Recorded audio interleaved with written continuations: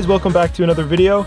I'm in Toronto today and growing up I spent a lot of time at this local uh, park called Stan Wadlow at a skate park within the park called uh, the East York Skate Park. Every year the skate community comes together and they repaint the park, they clean up all the garbage, and they make it look really new and fresh. They have music going, they have uh, a free barbecue, and it's really good for the kids, it's really good for the community as a whole, and this is like the 11th year, I believe. This isn't being ran by the city, this is just local skateboarders coming together cleaning up the whole park themselves, volunteering their time. They have a tip jar where you can uh, give them some money, and that goes towards the paint and the barbecue and all that. And, and on top of that, they're going to throw a skate contest, and they have a free product to give away, like random, you know, skateboards and wheels and whatnot. So it's a really, really fun day. I look forward to this every single year. There's always kids at the park, and I spent a lot of time here, and it, it's just so cool to see the community come together and clean up the garbage and take care of the park they, that the city built for them. All right, so let's head over to the park, and I'll show you what it's all about.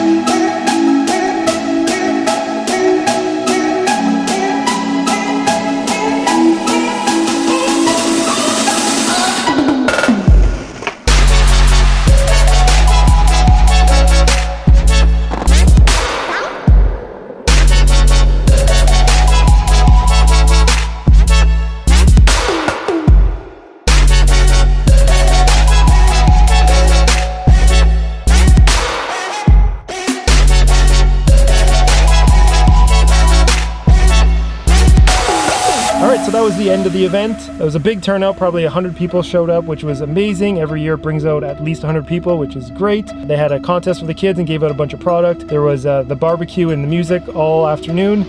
I ate way too many hamburgers. So yeah, we cleaned up all the garbage. They repainted the park with uh, new graffiti pieces, which looks really nice. Yeah, it was just an overall a, a really fun event. I can't wait till next year's. So I hope you guys liked the video. Give it a thumbs up if you did, and subscribe to see more videos from us in the future. We'll see you next time.